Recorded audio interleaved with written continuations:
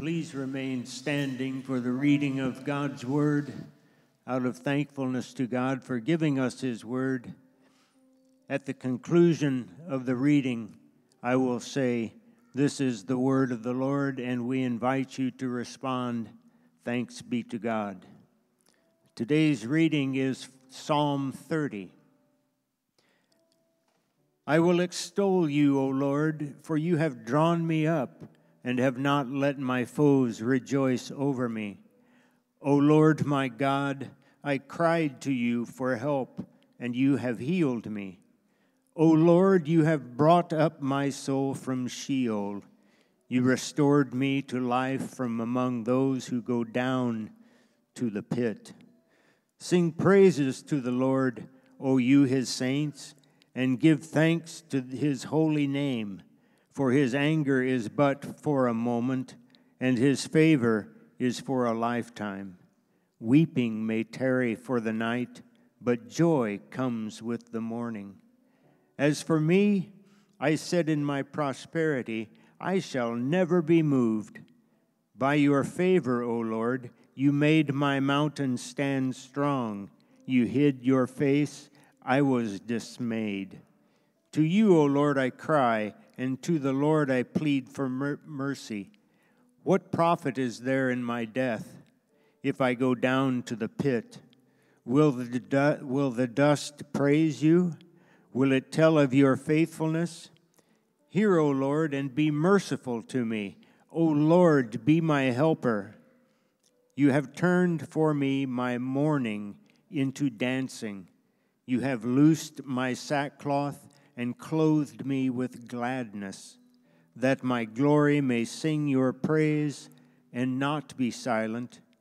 O Lord my God, I will give thanks to you forever. This is the word of the Lord. Kingdom kids are now released to their classrooms.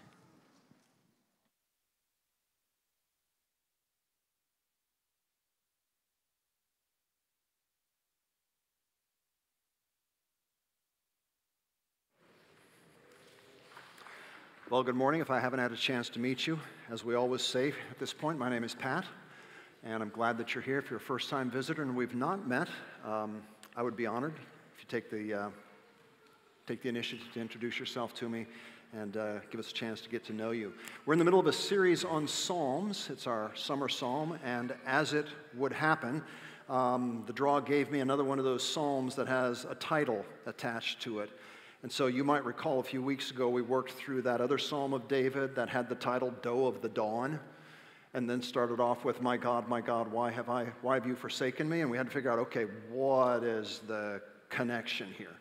We didn't read it out loud today but the title of this psalm is a psalm of david a song at the dedication of the temple. So, if we're going to understand what's going on in the psalm, we've got to figure out what's the connective tissue between the title of the psalm and what David says here. And um, that's the only way we're probably going to make sense of this today. So, let's pray and ask for the Lord's help, and we'll, we'll dive in, okay? Our Father, we thank you for your word, that you have given your thoughts, your heart, your affections to us in language we can understand. That you have granted us to have in our possession books that contain your words. But we are still thick and dull and hard of understanding. The brightest amongst us are not all that bright. And so we beg for your help. We ask that by your Holy Spirit, whose name we confessed just a few moments ago in the Creed, that you would help us to understand your word, and even more, that you would help our hearts to be moved by it as David's heart was moved in this psalm. And we ask this in the name of Jesus. Amen. So, as I said, our big challenge this morning is figuring out the connection between the title of the psalm and what David actually says. Groundwork is pretty simple when you build a temple, it's appropriate to dedicate that temple with some kind of pomp and circumstance. And so, having poetry or songs or artistic expressions designed expressly for the dedication of the temple makes perfect sense. We still do it. You know, we invite poet laureates to inaugurations and significant national events, and it's completely in line with what we would expect. So that's not so much of a surprise in this particular psalm. But there are a few problematic observations that I would make between the title of this psalm and the content of the psalm altogether. And you kind of track with me to see if they're a problem for you like they were for me. So, um, first of all, David says absolutely nothing about the actual temple in the psalm. Did you pick that up? Not a word. Nothing about its magnificent stones, nothing about its lofty walls, nothing about its glorious spires, nothing. There's, there's not a single mention of the temple itself in the psalm, which is a little weird for a psalm that is written for the dedication of the temple. In addition, the dedication of the temple kind of symbolized the establishment of David's kingdom. And so this temple would have been kind of that patriotic, raw, raw point.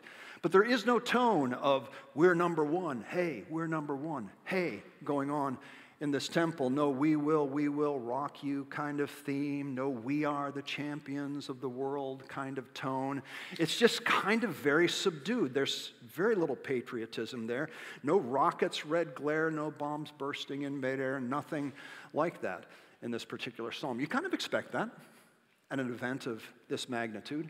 But perhaps the strangest thing about this psalm is David actually never saw the temple. The temple was not built in David's lifetime. It was built 14 ish years after he died. So, what we have going on here is we have David writing a psalm for the dedication of a temple that he's never going to see. So, those technical problems kind of caused some issues for me. I had to figure out okay, what is going on here in connection with the title and the text? Itself. And I don't know that I cracked the code, I probably didn't, but I'm going to suggest something here that I think makes sense from what we read, and I'll let you be the judge when we come to the end of our 30 minutes together or so, whether um, I made some connections. I'm going to suggest that David was memorializing in this psalm why the temple was such a big deal to him. And it was a big deal to him. And we'll talk a little bit more about that. But David is expressing why he's dedicated so much of his life, so much of his energy to a temple that represented something to him, but a temple which he would never, with his own two eyes, see. And as I started to think about that connection, a couple of other questions popped into mind that'll kind of be the, the frame that we'll use to work through what we read in this psalm. So, why was David motivated, so motivated to dedicate so much of his life to this particular expression, this particular building? What was, what was going on there? And how did that motivation translate into action, particularly action in relationship to the temple itself? Because it's dedicated to the temple. And then, why did the temple have such a huge hold on David's heart and mind. And the more I thought about those questions, the more kind of this uh, main point percolated up, and I'll run it by you, see what you think, and see if I can make my case by the time we get done here. Uh, the main point is that this is a love psalm. This is a psalm about what David loves. And I'm suggesting to you that what we love drives what we do and affirms what we believe. What we love drives what we do and affirms what we believe. And with that connective tissue in play, or that, that foundation in place, I, th- I think I can build a strong case through looking at what David loved, what that love prompted him to do, and what he believed that lay underneath the love that he demonstrated. So let's uh, kind of dive into it from that vantage point. Okay, first of all, what did David love? Well, the plain and simple answer is the Lord. 31 times in 12 verses, David, either by use of his personal name, Jehovah, Yahweh, the Lord, translated all caps in English translations, and the words you and your. 31 times in 12 verses, David makes reference to the Lord. That's kind of the way you talk about somebody you love. Their name is always on your lips not far from your thoughts. But the question is, why does David love the Lord? And I, think the answer is seen in what I would call a double deliverance, so to speak. First, in verses 1 through 3, a deliverance from external threats. So, so let me just rehearse it for you. He says, I will extol you, O Lord, for you have drawn me up and have not let my foes rejoice over me. Catch that there? Foes, external threats. And then, O Lord my God, verse 2 I cried to you for help, and you have healed me. While not stated explicitly, apparently, there was a season in David's life where he was sick, injured, and he needed help from the Lord, and he sought the Lord. Verse 3, external threat. O Lord, you have brought up my soul from Sheol, which is the Old Testament word for grave or Hades or hell or that concept, the place where dead people go. You restored me to life from among those who go down to the pit. So, external threats that faced David. Foes threatened, sickness threatened, situations threatened, and the Lord drew him up like water from a well. When it seemed like his enemies were getting the upper hand, suddenly they didn't have it. When it seemed like illness was going to win and prevail, the Lord healed him. When it seemed like he was staring death in the face, the Lord brought him back to life. When someone does that kind of thing for you in your life with that kind of consistency, it draws something out of you.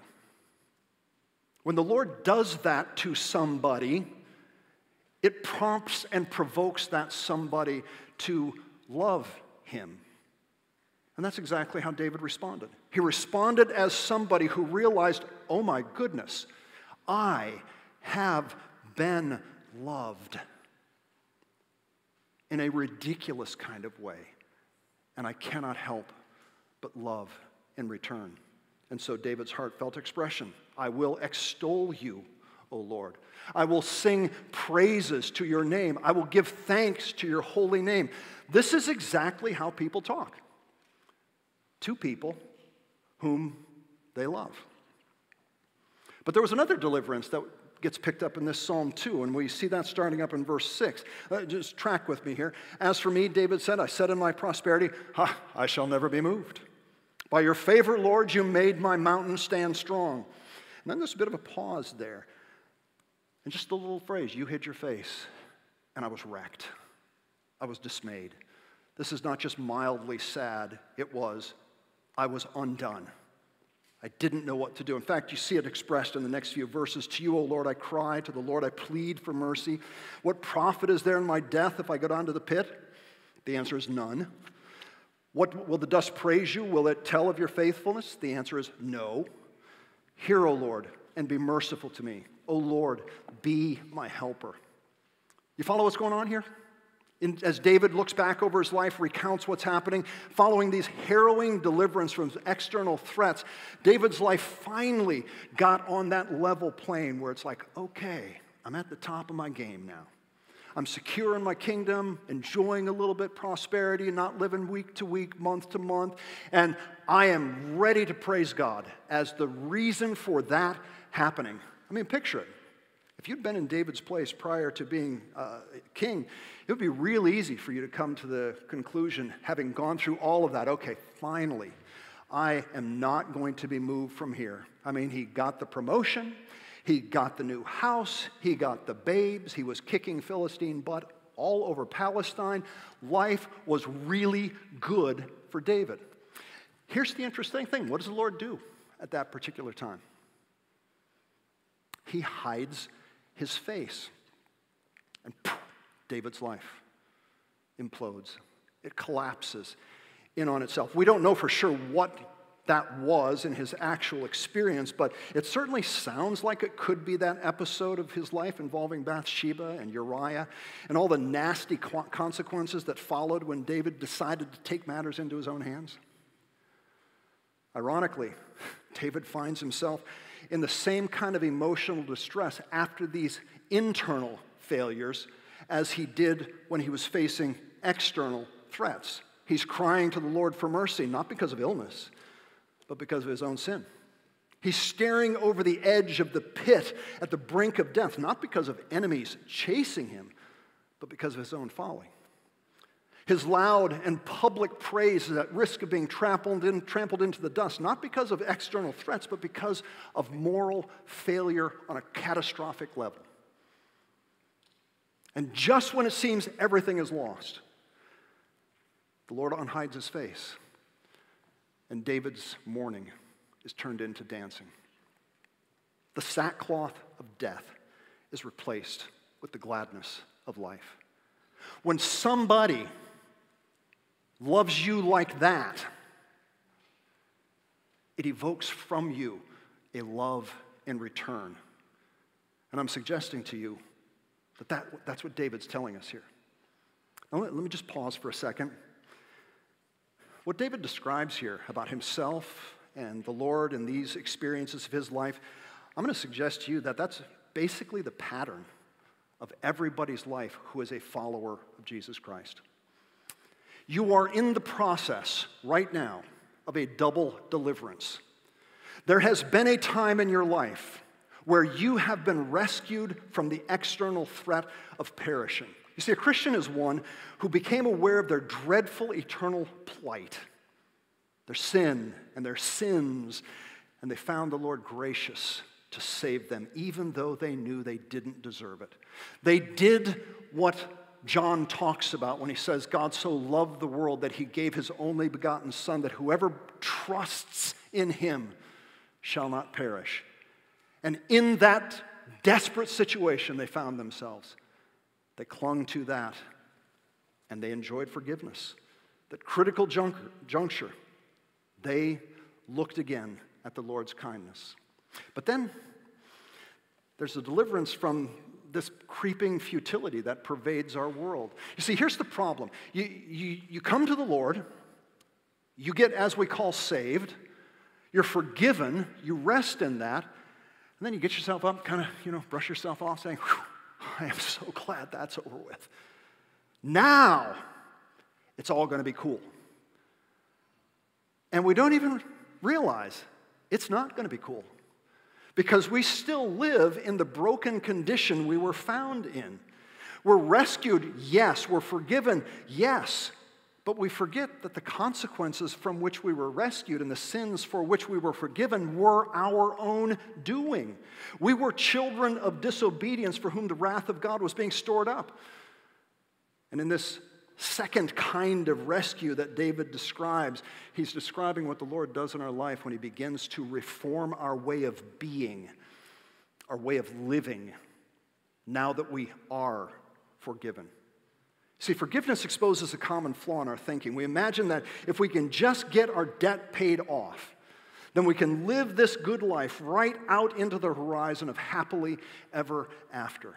We completely miss the fact that our forgiven debt was exactly the consequences of the way we had been living, the way we had been being in the world. It wasn't just some lemony snicket series of unfortunate events, it was our fault. We were the criminals whose crimes deserved the conviction we received. When we lived amongst them, we lived exactly like them. When we were in Rome, we did as the Roman did. And just because we got out of jail doesn't mean we were no longer criminals. It just means we got out of jail. And like David, we're tempted to say in our prosperity of forgiveness, well, now I'll never be moved. We're even willing to, you know, throw the Lord a bone and say, yeah, he's the one who made that possible, but I got it from here. And it's right at this juncture in your life and mine. And if it hasn't happened yet, it will. But it's probably happening right now in multiple lives in the room. Right at this critical juncture, the Lord does the simplest and most brilliant thing He can do He hides His face from us. He just lets us toddle. He doesn't stop us from behaving as we once did. And you know what happens? The same thing that always happened. But it's different this time. See, the last time when our mistakes got us into our consequences, we looked for fig leaves and we tried to sew them together, tried to cosmeticize the whole problem so that, well, I'm just, I'm not as bad as everybody else. But this time we're like David man, we are undone. The true depth of what we have been rescued from has become painfully apparent to us, and we are dismayed. The Lord hid his face, and I was dismayed, David says. It's an entirely different response. But it's the response of love. Though we have been rescued from the pit, we realize that the stink of the pit still clings to every fiber of us. Though we've been drawn up, we become aware that our entire way of living is still coated with the dust of death. We're more like the dying than the living still, but thank God we're alive. We're more like the foes we fled from than the forgiven we were rescued to be. And it's a pattern with the saints that those upon whom the light of joy dawns often afterwards experience the sackcloth of mourning. They're alive, but their breath still stinks like death. It's what C.S. Lewis calls God's intolerable compliment to us. His compliment to all those who love him is having set his love upon us, the Lord will not let us remain where we were when he found us. He will scrub and clean. He will break and mend. He will squeeze and mold our entire life long, relentlessly striving to make us just a little bit more like Jesus than we ever, more, ever were. And that much more like we shall be when we see him at last. Because that's what love does. And David got it. What did he love? He loved the Lord. Why did he love him? Because the Lord has rescued me, and he has rescued me again. And I have no place I can turn but him. Now, that kind of love does something internally. When you know you have been loved like that, it changes the way you look at and go into the rest of your life. So, our next question is what did David's love drive him to do? And again, the answer is simple it drove him to build the temple. But in order to appreciate that, we've got to kind of think about what the temple meant to David and what he did in his preparation for it. And so we can look at David's own words to understand what he thought or what the temple meant to him. For instance, in Psalm 27, he says, One thing do I ask of the Lord, one thing do I seek after to dwell in the house of the Lord all the days of my life, to gaze upon the beauty of the Lord, and to inquire in his temple. That's intense. I mean, can you reduce your life to the one thing? This is my one thing. And for David, I just want to dwell in the house of the Lord. I want to inquire in his temple. Pretty important place. If it's connected to your one thing. In Psalm 122, he indicates that visiting the temple was his happy place. He said, I was glad when they said to me, Let us go to the house of the Lord. Why? Well, because in Psalm 11, he says, The Lord is in his holy temple. Why do I want to go to the house of the Lord? That's where the Lord is. Makes perfect sense. If you remember when you were dating, that's why you wanted to go to your spouse's, boyfriend's, girlfriend's house, because they were there. Not because the house was so nice. Man, I just love your house. I can do without you, but I like the house you've got. that doesn't, it just doesn't enter our minds. We went to the house because the person we loved was there. And that's what David is, is saying here. He wants to go to the house of the Lord because the Lord lives there. It's there that my help comes from in Psalm 20, verse 4. It's there where he hears the cries of those who cry to him. Why would someone who loves the Lord not want to go to the house of the Lord? In fact, he says elsewhere, Psalm 5, verse 7, that those who worship the Lord do so bowing down toward his holy temple. And then in the temple, everyone cries glory, according to Psalm 29, verse 9. In other words, the temple is the focal point of his deepest joy that's where the glory dwells that completes the deepest desires of his life. A life that David describes as being shepherded by the Lord's goodness and mercy with the high hope that when all is said and done, he shall dwell in the house of the Lord forever. If you take all those references and look them up and look at the title in every one of them, they will all start a psalm of David. So we are literally quoting David on what the temple means to him. So we're starting to get an understanding of what that love for the Lord prompted David to do. He, he wanted to build a temple because that's where the Lord was. He longed, like his forefathers who built altars of stone in response to the Lord appearing to them. He longs to build a temple so that he can always be near, always be with, always be around the Lord whom he loves. That's how it is when you love someone. You just want to be around them, always. But that's not it. I mean, well, that's just Bible talk. You know, those Bible people, they were just religious, kind of a little fanatical, but they're just, just Bible talk. Okay. We got to look next at what David invested in the temple then. Because he actually put his money where his mouth was.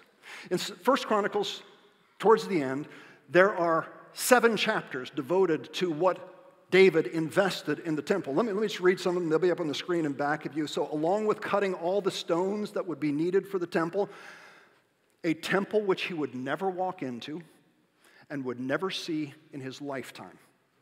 He is not going to benefit one bit from what we read here. But that didn't stop him from doing what we read here. That's the point. Along with the stones, David provided great quantities of iron for nails for the doors and for the gates and for clamps, as well as bronze in quantities beyond weighing and cedar timbers without number. A little bit later on in the same chapter, he says to Solomon, With great pains I have provided for the house of the Lord 100,000 talents of gold, a million talents of silver, and bronze and iron beyond weighing, for there's so much of it. Timber and stone, too, I have provided. To these you must add. In other words, all of this wealth that I have provided for the temple, it's not quite enough. Solomon, when you get an extra dime, when you get an extra dollar, you got to add to what I added. And lest we think this was some small contribution, let me remind you that its talent is 75 pounds. So David is saying here, I have provided 7.5 million pounds of gold for the temple. I just checked into, you know, so what's gold selling for an ounce? As of Friday this week, $2,397 per ounce. That means just with gold alone, David had laid up $287.7 billion worth of gold just to be smeared on the walls and doors of this temple he would never step into. A million talents of silver, 75 million pounds of silver. Now, silver is a little cheaper than gold, trading at about $34 an ounce as of Friday this past week, which translates into $2.4 billion as of the end of week. So we're getting close to $300 billion worth of just silver and gold, not to mention iron that can't be weighed, bronze that can't be weighed, timbers that can't be counted, stone that, how do you even, and not even that is enough. And then the rest of the chapters in, second, in First Chronicles chapter, uh, at the end of the First Chronicles, are about how David organized the Levites, how he organized the priests, how he arranged for the musicians, how he structured the administrative structure. He even had the architectural drawings drafted up for what the temple would look like. A temple, mind you, that he was never going to step inside of. Sounds like the kind of thing that people who love something would do, doesn't it? Investing thousands of hours, billions of dollars, tens of thousands of man hours and woman hours, and tireless energy into a temple that was yet to be built. So some might say, well, that's probably a little over the top, you know, a little bit crazy. David got a little fanatical there. Really? Is there actually a limit or price tag or cost that's too much for love? Really? We should be a little cautious here because if you're tracking with what I'm saying, it should be evoking a memory of an event in Jesus' life where he visited some friend's house where two sisters lived, sisters whom he loved dearly and who loved him equally dearly. And sometime during the dinner, one of the sisters slipped out of the room and came back in carrying a vase, a, a bottle of ointment that we're told in today's dollars would be worth tens of thousands of dollars. And she just wantonly broke it and poured it all over Jesus and began to anoint his feet. And everybody in the room was incensed by the waste. What just happened here? This money should have, this perfume should have been sold. We could have fed so many poor people with that. And the only one who didn't rebuke her was Jesus, who actually rebuked the people who called what she did a waste. And in fact, he took it a step further and he said, Listen, wherever the stories about me shall be told, this story about her and her love will also be told. For she has done beautiful thing to me, and it will not be taken away. That's what love prompts you to do. It prompts you to build extravagant temples. It prompts you to, quote, waste valuable possessions.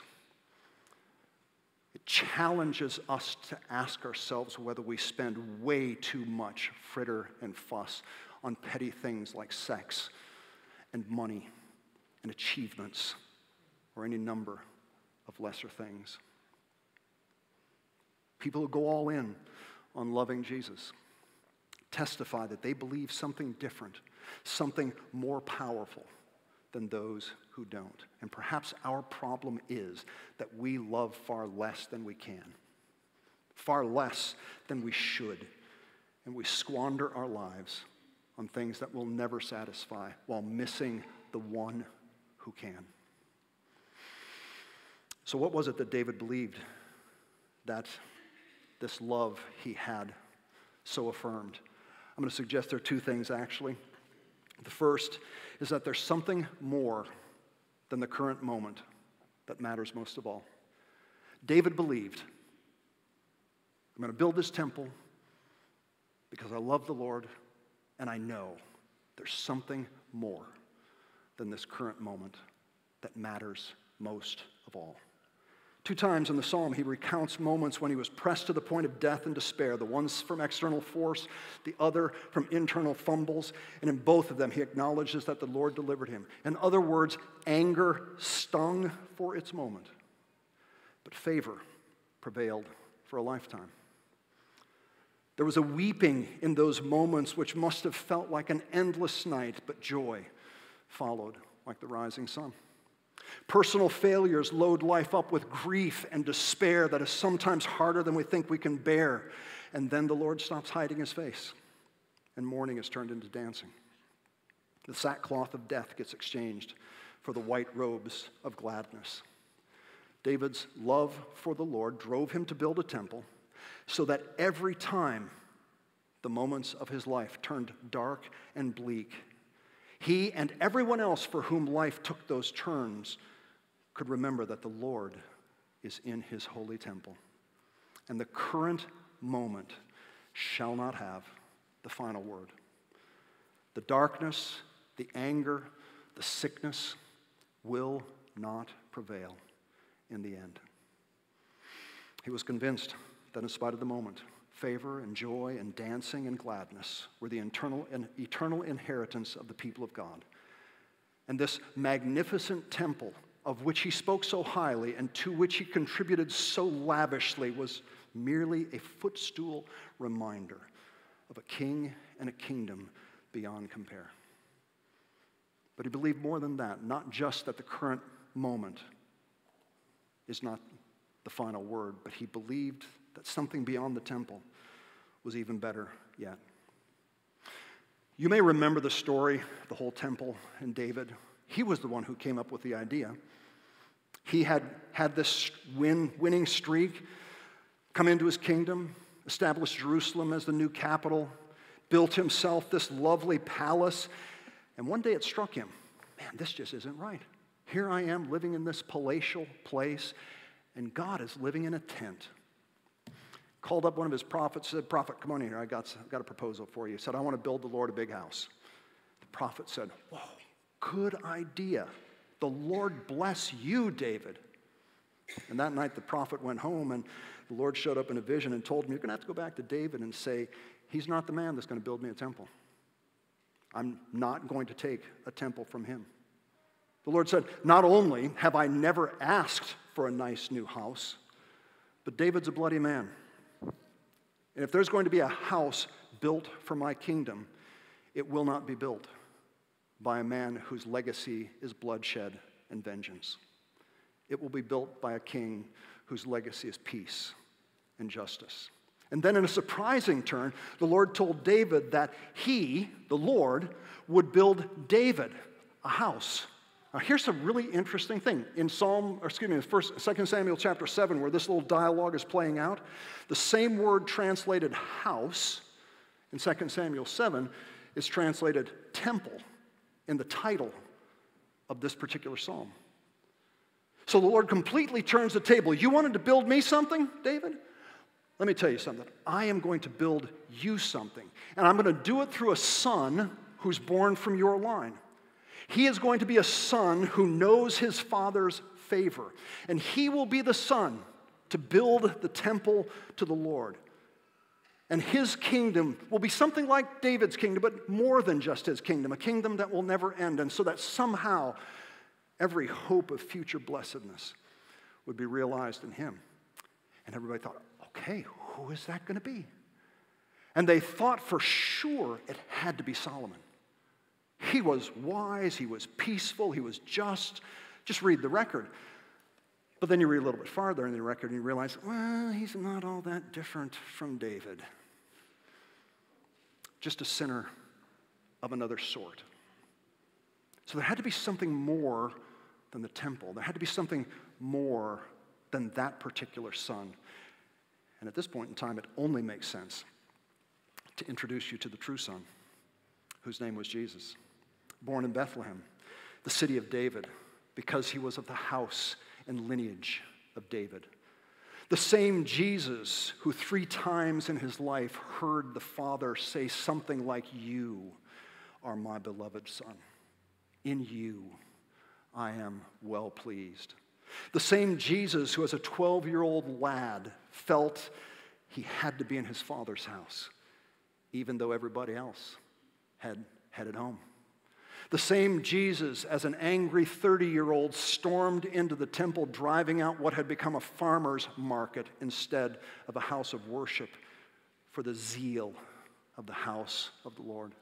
The same Jesus who, a few months later, when contesting with the Pharisees, said, referring to himself, and something greater than the temple is here.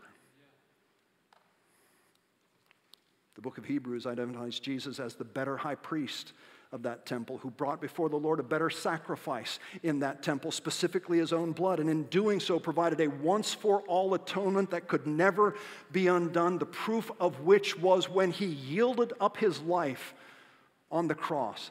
The veil that separated humanity from holiness was torn from top to bottom. Right now.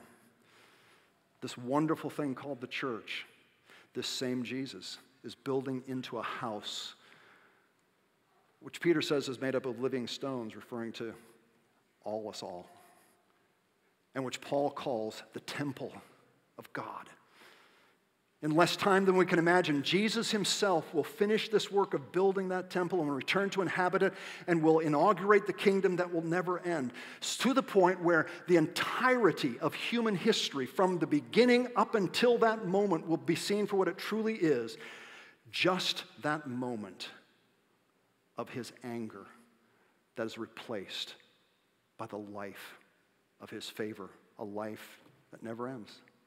The darkness that overcasts every life since Adam and Eve, including yours and mine, that darkness will give way to the light of joy, which shall never grow dark again.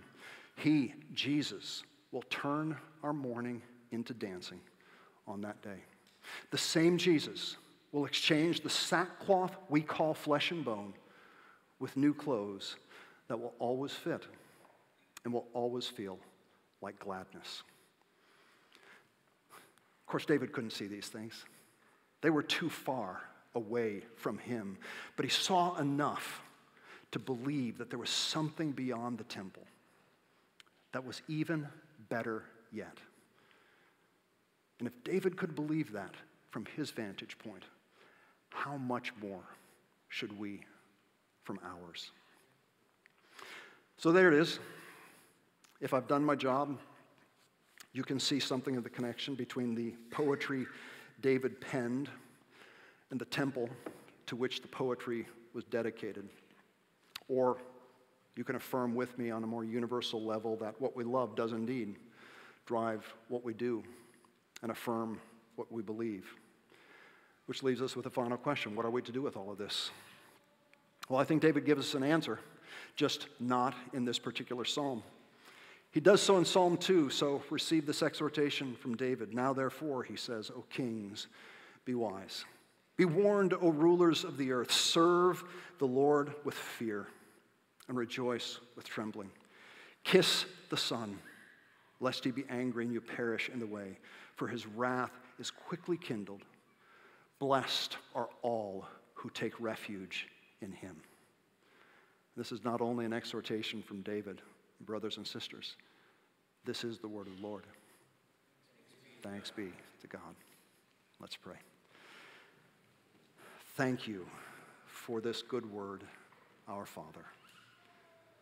We knew, we knew that there was love like this.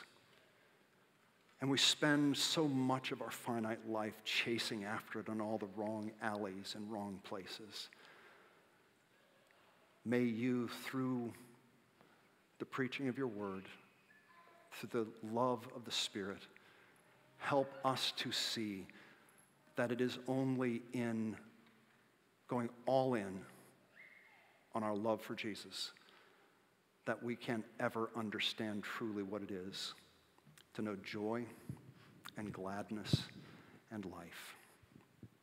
We pray that in His name.